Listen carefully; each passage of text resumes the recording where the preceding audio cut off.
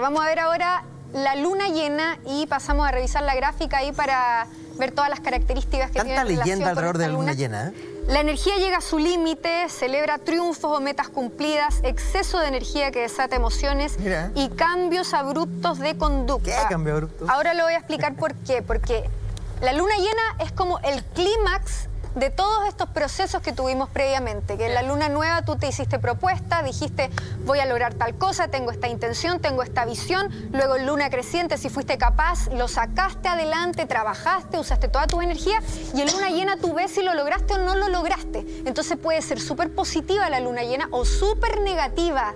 ¿Qué pasa? Que en la luna llena estamos más sensibles, más emocionales y vemos todo eso que el resto de los días del mes no estábamos queriendo ver.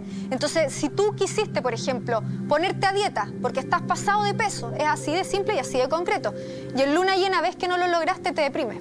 Te das cuenta que no eres capaz, si no que no tenés voluntad. ¿Debo empezar de vuelta el ciclo de luna nueva? Si no resultó, ¿O después, adelante nomás? después en luna menguante viene todo ese proceso de reflexión y de darte cuenta y de replantear las cosas y ver con qué vas a seguir adelante y con qué no.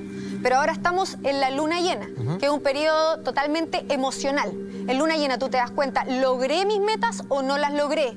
Las logré, me siento bien, me siento lleno, me siento magnético, me siento como dueño del mundo. Es como, como que tienes ínfulas. Un exceso de Gente que- energía. sí, un exceso de energía, pero que también puede ser súper negativo Claro. si tú no lograste tus Lo propósitos, claro. si tú decaíste en la luna creciente y no lo lograste, te deprimes el triple que en cualquier otro momento de tu vida y que en cualquier otra fecha. Dices, no soy capaz, no tengo voluntad, yo no logro estas cosas, ¿por qué, por qué, por qué? Y te empiezas como a autocriticar y te empieza a bajar la autoestima y todo el tema. ¿Qué pasa? Que también en luna llena empezamos a ver todo lo que está oculto, porque la luna llena ilumina la noche. Y la noche es muy metafórica de nuestra noche, de nuestras sombras.